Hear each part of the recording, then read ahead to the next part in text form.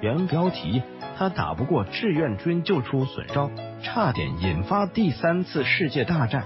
道格拉斯·麦克阿瑟，美国著名的军事家，是美国将军中唯一一个参加过第一次世界大战、第二次世界大战和朝鲜战争的人，是美国最年轻的准将，西点军校最年轻的校长，美国陆军历史上最年轻的陆军参谋长，堪称美国战争史上的奇才。麦克阿瑟，麦克阿瑟一生战绩彪炳，荣誉无数。一九一七年，他参加了第一次世界大战，因为作战勇敢和指挥有方，一九一八年被升任为旅长。同年六月二十六日，再次晋升，临时军衔被授予美国陆军准将。一九一九年六月，麦克阿瑟被任命为西点军校校长，此时他才三十九岁，成为西点军校创校以来最年轻的校长。一九四一年，第二次世界大战爆发，麦克阿瑟被召回军中，担任美国远东军总司令。七月晋升为中将。一九四三年，被任命为盟军西南太平洋战区总司令，负责对日作战。一九四四年晋升为陆军五星上将。一九四五年八月十五日，日本宣布无条件投降。麦克阿瑟作为同盟国代表，在投降书上签字受降。麦克阿瑟在日本投降书上签字受降，如果麦克阿瑟的军旅生涯到此结束的话，那简直堪称完美、辉煌无比。不过不幸的是，他又参加并指挥了朝鲜战争，而这场战争却给他的军事生涯带来了最大的一场失败。一九五零年六月二十五日，朝鲜战争爆发。美国为了彰显自己远东大哥的身份，组织了以美军为主的联合国军，毅然出兵帮助韩国，并由麦克阿瑟出任联军总司令。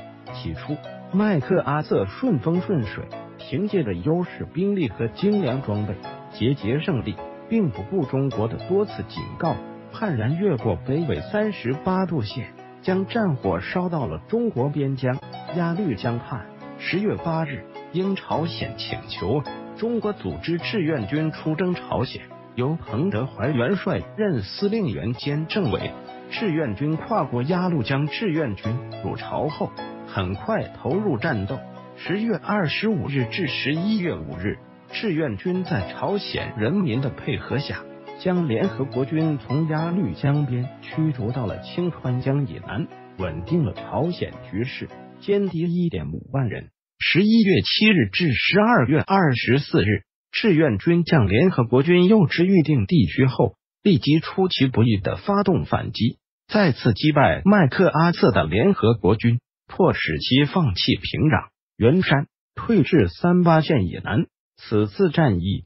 志愿军歼敌三点六万余人。十二月三十一日至次年一月八日，志愿军突破三八线，对联合国军发起全线进攻，占领韩国首都汉城金首尔，歼敌一点九万余人。志愿军战士在战场上痛歼敌人。志愿军入朝后的三次战役取得全胜，总共歼敌约七万人，将麦克阿瑟完全打懵了。